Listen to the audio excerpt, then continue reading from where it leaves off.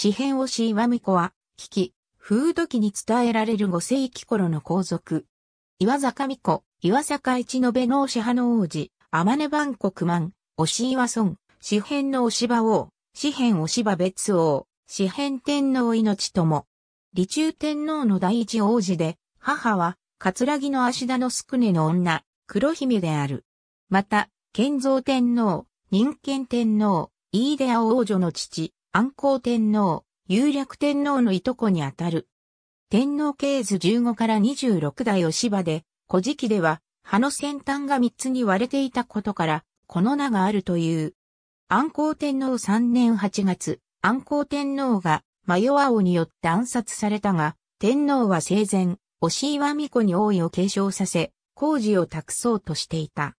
かねてからこのことを恨んでいた、大初瀬王子は、10月に、押岩巫女を、近江の茅屋へ狩猟に誘い出し、イノシシがいると偽って、巫女を射殺した。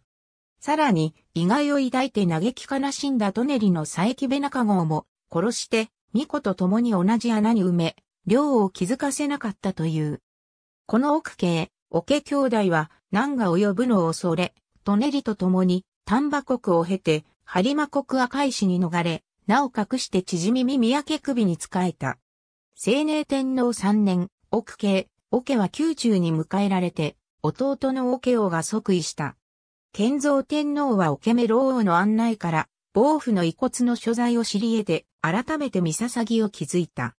この時、巫女と中子の遺骨が頭骨を除いて区別できなかったため、愛にせた二つの三捧ぎを作ったとされる。